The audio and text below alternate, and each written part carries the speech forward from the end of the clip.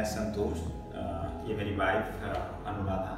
मेरा एक पाँच साल का बच्चा है, जिसका नाम दर्शित है। हमारे बच्चे को दो तीन सालों से पेट की समस्या से वो परेशान था। वो ठीक से खा भी नहीं पाता था, हमेशा पेट दर्द की शिकायत। और वज़न ग्रोथ भी नहीं कर रहा था। तो हमने द्वारका के द्वारका सेक्टर चौदह के आसपास के डॉक्टरों से हमने वहाँ पे दिखवाया। वहाँ पे डॉक्टरों से दिखाने के बाद पता चला कि इसे वीट एलर्जी, सेलियक डिज़ीज़ है। तो मुझे किसी ने ये सलाह दिया कि आप मणिपाल हॉस्पिटल में जाइए। वहाँ पे डॉक्टर शुक्ला सक्सेना जी हैं। वो बच्चों से संबंधित पेट रोग विशेषज्ञ हैं। आप उनके पास जाइए। वहाँ पे जाकर के आप ट्रीटमेंट कराइए। मैं कोविड नाइन्टीन के समय में मुझे बड़ा डर लग रहा था कि मैं बच्चे को लेकर के इधर उधर कहाँ जाऊँ, किस तरीके से जाऊँ।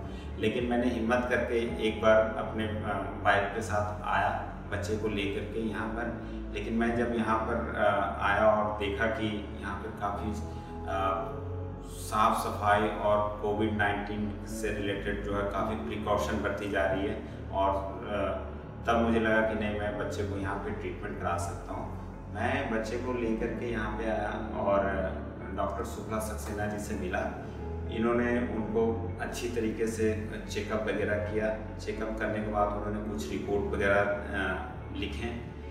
मैंने वो टेस्ट वगैरह कराया और साथ में उन्होंने बोले थे कि एंडोस्कोपी भी करानी पड़ेगी। मैंने, मुझे बहुत डर लग रहा था कि इतना छोटा बच्चा को मैं एंडोस्कोपी कैसे कराऊँ? ये बहुत बड़ा प्रोसेस होगा, लेकिन डॉक्टर ने हमारे को हिम्मत बढ़ाया, बोले कि ये बहुत ही छोटी सी है, इसमें कोई भी दिक्कत नहीं आएगा। मैंने डॉक्टर की सलाह को मानते हुए और वाइफ से सलाह करने के बाद मैंने हामी भर दी। और यहाँ पर मैंने बच्चे को एंडोस्कोपी के लिए मैं लाया। यहाँ पे लाने के बाद डॉक्टर ने काफ़ी अच्छे तरीके से ट्रीटमेंट किया और बहुत सही तरीके से मुझे बिलीव ही नहीं हो रहा था कि मेरा डर ही सारा ख़त्म हो गया जब मैं इंडोस्कोपी करने के बाद डॉक्टर ने ये बताया कि आपका बच्चा खेल रहा है। मैं अंदर जा कर के बच्चे से मिला।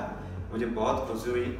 मैं डॉक्टर का बहुत तहे दिल से धन्यवाद करना चाहता हूँ और यहाँ के सारे स्टाफ, नर्स और जितने भी मैनेजमेंट के लोग हैं, मैं उनका बहुत बहुत आभारी सीलियक डिज़ीज़ या ग्लूटेन इंटॉलरेंस बच्चों में एक बहुत ही कॉमन कंडीशन होती है। ये गेहूँ में मिलने वाले एक प्रोटीन ग्लूटेन होता है, जिसकी बच्चों में पचाने की क्षमता ख़त्म हो जाती है। उसकी वजह से उनकी ग्रोथ रुक जाती है। कई बार उनको भूख नहीं लगती, उनके शरीर में खून की कमी हो जाती है, या कई बार उनको सीवियर कॉन्स्टिपेशन या सीवियर डायरिया हो सकता है।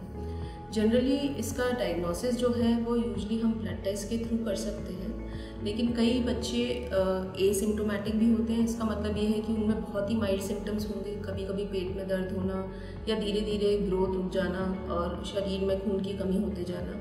और ब्लड टेस्ट करने पर भी उनके जो एंजाइम्स लेवल हैं, वो या तो नॉर्मल होते हैं या थोड़े से ही रेज्ड होते हैं। इस कंडीशन में इसलिए हमेशा एंडोस्कोपी और बायोप्सी एडवाइज रहती है।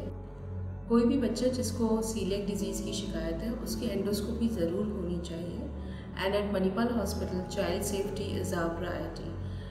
We ensure over here that all the children have a safe endoscopy experience.